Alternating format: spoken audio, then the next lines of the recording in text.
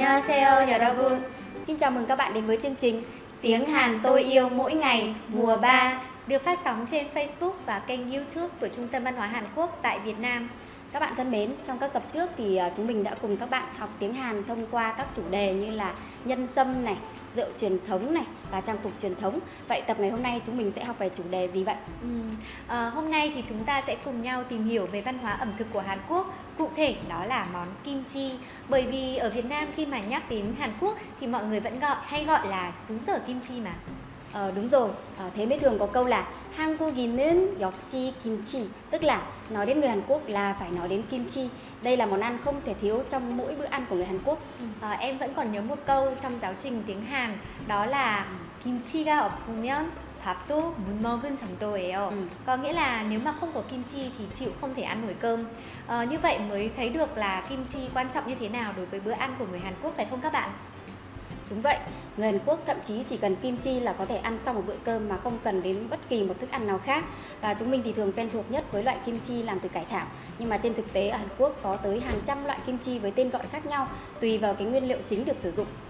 Có thể kể tên một số loại kim chi phổ biến thường gặp như chu kim chi có nghĩa là kim chi cải thảo, pa kim chi là kim chi hành, oi kim chi là kim chi dưa chuột, mu kim chi là kim chi củ cải và mun kim chi tức là kim chi làm từ củ cải rất giống với món dưa muối của Việt Nam. Ừ. Mà chị Thùy này, chị đã muối kim chi bao giờ chưa ạ? Ừ. 김치를 담가본 적이 있어요? Ừ. 당연히 있지. À, mình đã từng thử muối kim chi ở nhà rồi. Trước tiên chúng ta cần chuẩn bị nguyên liệu 재료를 준비하다 và gia vị 양념, mu nghĩa là củ cải, 양파 nghĩa là hành tây, pa là hành lá, 생강 gừng, maner, tỏi, cô chút caru, ớt bột, vân vân.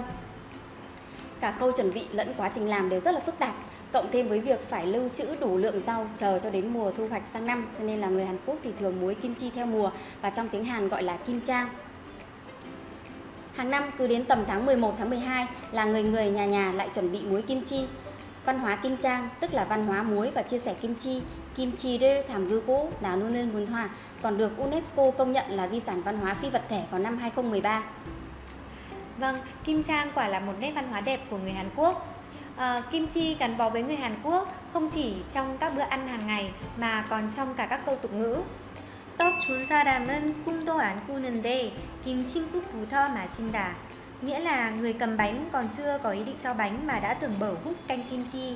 Câu này muốn chê bai những người lanh chanh, chưa gì đã tưởng bở tự diễn giải sự việc theo ý mình. Hay có câu pa kim chi ga tuyệt tả, nghĩa là héo như kim chi hành. Câu này thường dùng để nói về việc lúc nào người mệt lả không còn tí sức lực nào. Vâng, đến đây thì thời lượng phát sóng dành cho tập lần này đã hết. Hãy comment những chủ đề mà các bạn quan tâm dưới mỗi clip của chúng mình nhé. Tạm biệt và hẹn gặp lại. 다음에 뵐게요.